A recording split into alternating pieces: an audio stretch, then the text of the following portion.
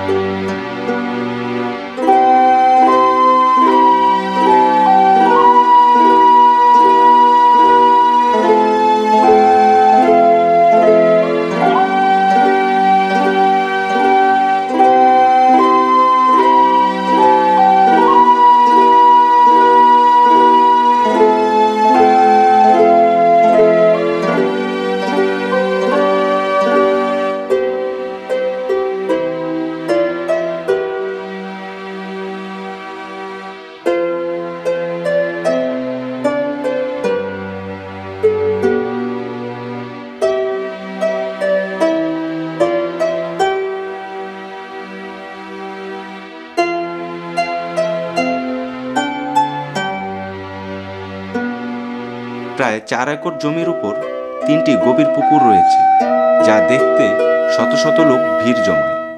কালের সাক্ষী হিসাবে দুটি দ্বিতল ভবন রয়েছে যাতে জমিদারগণ বসবাস করতেন।